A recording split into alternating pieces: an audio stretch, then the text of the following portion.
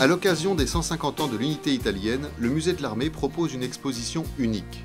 Napoléon III et l'Italie, naissance d'une nation 1848-1870. L'histoire de l'unité italienne, c'est au XIXe siècle l'histoire d'une prodigieuse aventure. Comment? Un peuple, une nation, qui était divisée en plusieurs États jusqu'en 1860, devient un seul État-nation indépendant et libre. Un processus qui s'est fait à l'issue de trois guerres d'indépendance, d'une grande expédition de conquête de la Sicile en 1860 et d'une autre expédition de conquête ou de libération de Rome en 1870. Trois guerres, deux expéditions et l'Italie était faite. Le projet de l'exposition est né en fait dans le contexte de la préparation du 150naire de l'unité italienne et d'échanges euh, entre le musée de l'armée d'une part et, la fondation Alinari qui est en fait à l'origine de l'initiative et qui souhaitait évoquer euh, le processus de l'unité italienne sous cet angle, c'est-à-dire l'angle des relations franco-italiennes.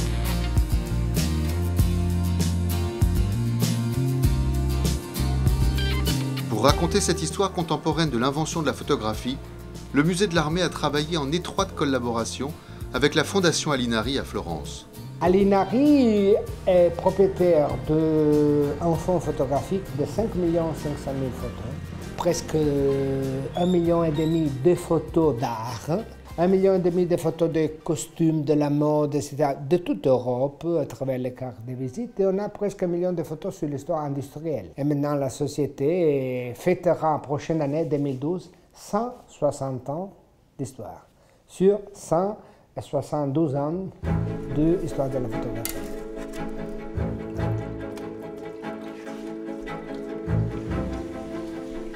La Fondation Alinari, fondée en 1852 à Florence par les frères Alinari, est la plus ancienne firme photographique du monde.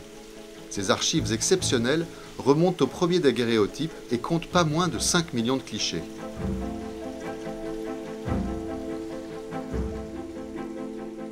On est, nous, un peu la mémoire historique de ce pays. Donc, on a des documents très riches sur l'histoire de notre pays. On avait c'est qu'il y avait chez nous, c'est qu'il y avait au musée de l'armée. Et puis la chose la plus intéressante, et c'est le pourquoi moi, âgé de 70 ans, encore je m'amuse à travailler, que dans la photo, c'est plein de découvertes. Nous sommes donc dans la salle où sont conservées les collections du musée des frères Alinari. Eh, c'est un patrimoine exceptionnel par sa quantité et sa qualité. Eh, et un des éléments les plus significatifs est une collection importante d'albums contenant des dizaines de photos. Chaque album a son histoire et l'histoire des albums est un des chapitres de l'histoire de la photographie en général.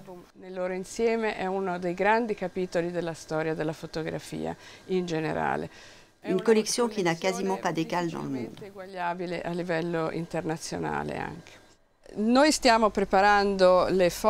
E nous sommes donc en train de préparer les photos pour l'exposition de Paris. Et nous sommes ici entourés de ces images qui sont justement prêtes pour être envoyées au musée de l'armée.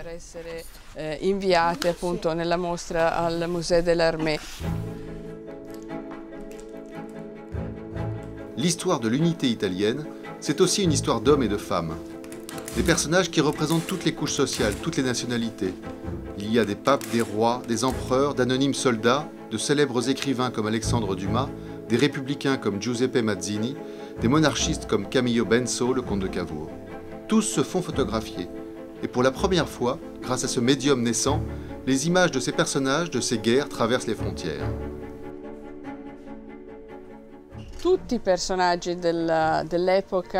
Euh, Toutes les personnalités de l'époque, rois, empereurs, papes, la bourgeoisie, la noblesse, tous avaient besoin de se faire représenter. Napoléon III est sûrement une des grandes figures de la période photographiée. La comtesse di Castiglione La comtesse de Castiglione est elle aussi très liée à la photographie et elle en a fait une utilisation singulière. C'est une personnalité vraiment importante du Risorgimento, vraiment fascinante. Elle a fait l'objet de nombreuses études. Dans les œuvres présentées dans cette exposition, elle occupe une petite mais très précieuse partie. La révolution de la photographie La révolution de la photographie est extraordinaire car elle a permis aux hommes et aux femmes de voir ce qu'ils ne pouvaient pas voir auparavant sans se rendre sur place. D'une certaine manière, avec la photographie, c'est la connaissance qui vient aux hommes. Il n'y a plus l'obligation d'aller la chercher. C'est une des grandes révolutions culturelles de la photographie et du 19e siècle. Au cœur de l'aventure de l'unité italienne, il y a la figure de Garibaldi, un personnage d'exception de ceux qui changent le cours de l'histoire.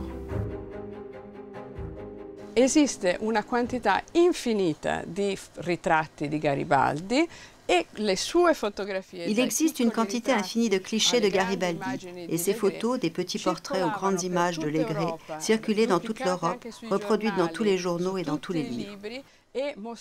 Toutes ces images montraient le grand héros du Risorgimento et son mythe se fait justement grâce à la diffusion et la connaissance de son visage. Ce sont les padres de la patrie, comme on dit nous, les pères de la patrie. C'était les personnes qui se sont battues il y a un siècle et demi, car en Europe, c'était bien nécessaire qu'il y avait une nation très jeune, mais avec dans notre histoire l'histoire de l'Europe.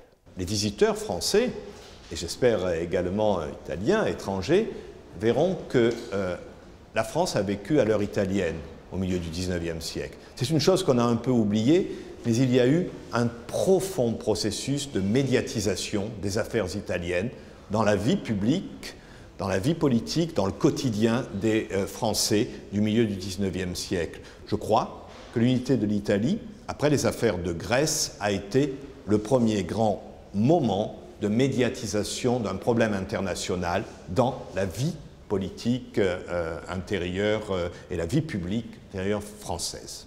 Sur l'histoire de l'unité de notre pays, euh, sans laquelle il n'y a pour l'Italie, je pense, ni une histoire du futur, ni un souvenir du passé, à part tous les changements qu'il faut faire, bien entendu. Mais l'unité, pour nous, c'est quelque chose d'inconcevable de ne pas souligner.